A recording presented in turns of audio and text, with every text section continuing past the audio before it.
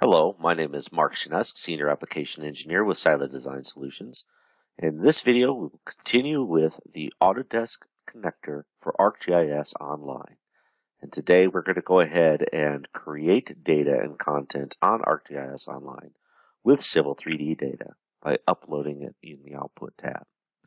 Now continuing on with the last uh, drawing that I made, I downloaded some uh, sanitary sewer uh, structures and pipes.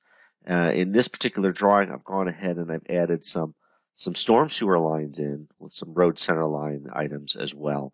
And I'm going to go ahead, I'm going to upload the storm sewer and the, uh, the center line alignments on my road to uh, ArcGIS Online using the Autodesk connector.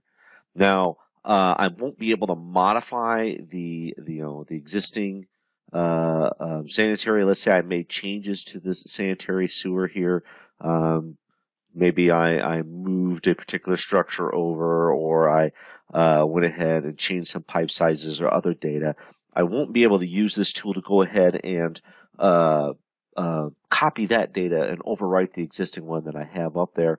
Um, the most I can do is copy a new file back up.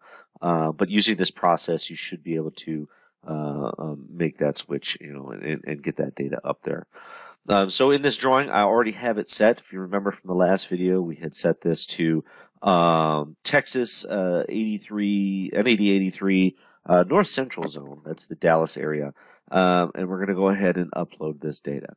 So in Civil 3D 2020, I'm going to come over here to my Output tab, and here you will see a icon for Publish to ArcGIS. If I go ahead and click that, uh, a new dialog is going to come up and it's going to uh, ask me to connect to my service. And then I'm going to get a dialog box that says, you know, publish to ArcGIS. Here are all my civil objects. You've seen this dialog box before when you're uploading or creating a land XML. Um, I'm going to use this uncheck all and I'm going to check the storm network. And I'm also going to come up here and I'm going to check my alignments. Okay. Now with that, I'm going to go ahead and say OK. And the next dialog that's going to come up is going to say, okay, choose your area of interest. It automatically chooses the limits of my uh, my drawing area based upon the data that I'm uploading. So the extents, the drawing extents, um, you see it has created my area of interest. Um, I will hit next. Um, it's going to ask me how I'm going to map the objects that I chose to the uh, GIS elements that I'm going to put up on ArcGIS Online.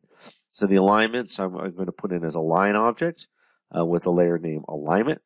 Pipes are going to be align objects, and I'm going to change this. I'll say uh, STM underscore pipe will be the layer name. Structures will be point, and I'm going to change that to be STM structure. I'll click next. It's going to ask me for a name of my service. By default, it chooses the drawing name. Um, I will just say um, it's not going to allow spaces. You notice I get the yellow yellow triangle there. I'm going to have to change and get rid of these spaces.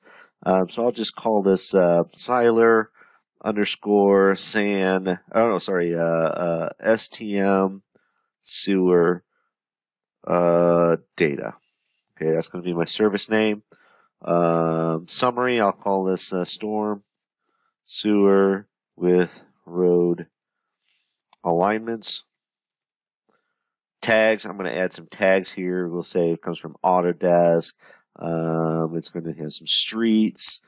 Uh, it's part of a site project. These are data uh, tags that I've used in the past. Utility, maybe I'll add custom. I can type one in here. Storm. Okay, tab. Uh, I'll type another one. Sewer tab. So I've added some more tags there. They'll become tags in my, my set. Uh, under advanced settings, I, I, can enable editing and allow editors to add, update, or delete features on ArcGIS Online. I can share this with everyone, the public, if I wanted to put it to the uh, the um, the Living Atlas, or only with inside the Design Solutions, or with my collector demo. Okay, uh, I'll hit next, and now it's going to ask me. I have some folders made up here. I have a folder called Civil 3D Connector Datasets. That's where I'm going to put it and I will say publish. And once I do that, it's just going to publish this data up to ArcGIS Online. Um, it doesn't take very long. And once it has uploaded to the site, uh, we'll go ahead and it'll give me an option to view this data online. Um, so this data, uh, you know, it, it works pretty well. Uh, so now here it says Seiler Storm data was published to ArcGIS. I can now go to View in ArcGIS Online. And uh, here it's going to open up the website. I'll sign in with my login data. And it's going to zoom into my data. And here you can see uh, the layers that were published to this map. So I have my, my center line street alignments. Um, I have my sanitary, or starting my storm sewer uh, structures and, and uh, objects. So if I go ahead and I click on one of these pipes, here's the attribute data. So it's for my storm network. It gives me my diameters, my length, my start and end inverts. These are all the standard Civil 3D uh, attributes that go along with storm uh, and pipe networks. Uh, I'll pick on the center line. It's Old Settlers Way. It's alignment, start and end station, uh, my reference point for my start station, um, and the length of my geometry. So you can see I get some standard attributes that come in here.